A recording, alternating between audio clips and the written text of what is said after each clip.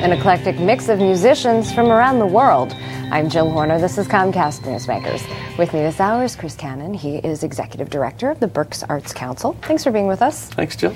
This is a, fun time of year where we celebrate jazz and people from around the region come to Berks County. Talk to us a little bit about how the Jazz Fest works. Absolutely. Well, it's, um, it's in its 21st year. It is uh, it's one of the top five jazz fests in the country, and what's unique about it is that it's it's not just a concerts in a single venue. It's spread out over the community. So we got concerts in churches and bars and hotels, ballrooms, and of course you know, the performing arts centers uh, that are known in our community uh, as sort of the main headliners. But it's everywhere. That's what's amazing about the Jazz Fest. You can't get away from it. You go and it's here, and, and any venue you probably walk into, it's got something related to it, and artists come from all over the world, uh, definitely the United States, to perform here, and that's attracted a lot of regional appeal. And not just regional, we do have international visitors who come as well from Europe mostly. What does this uh, event mean to the local and regional economy?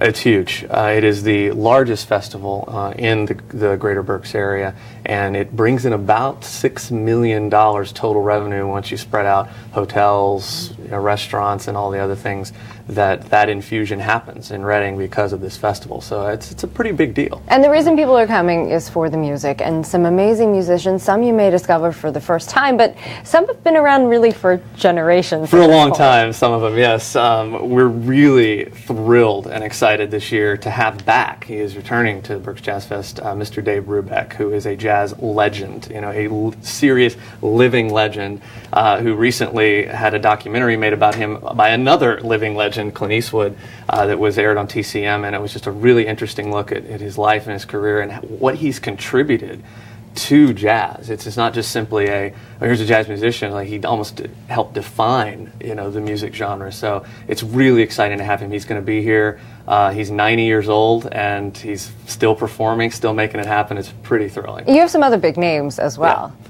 We've got um, we've got Trombone Shorty, uh, which is always a great uh, success, very successful uh, you know, jazz musician, and uh, Al Jarreau as well, who is also like uh, Dave Brubeck, who has been around a while and has done a lot of things and has influenced the genre. So it's a great lineup. I mean, we're really excited about to have them all, and that's only a few, not to mention all the other uh, newer jazz artists, some of them who are who will be supporting these guys.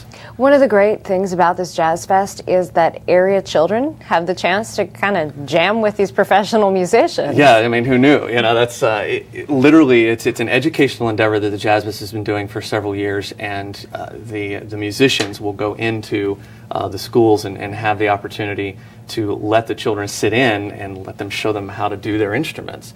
And then if that wasn't enough, then they get to play with them in a special little concert after the fact. So it's extremely valuable uh, for the education of anybody, any child who is interested in music or who may be trying to learn an instrument to, to learn from these, these professionals. It's just an amazing experience. Now, in addition to jamming with some area young musicians, some of the students, uh, these musicians are, are going to be playing together. Yes, they will. Uh, which is a really uh, another unique point about our Jazz Fest is that there is a jazz uh, jam, if you will, in which uh, a lot of the headliners will just show up together and start to improv, you know, and play at the same time. And that's it's such a unique experience for the audience because a lot of times it happens uh, in the vicinity of the Crowne Plaza Hotel, which is our, our central headquarters.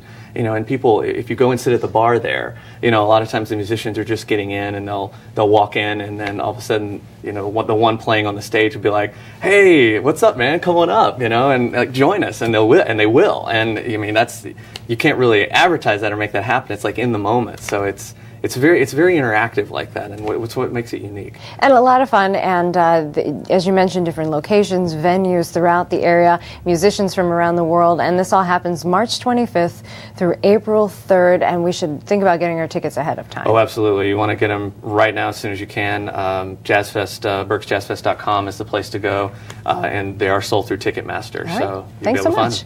We've been talking with Chris Cannon. I'm Jill Horner.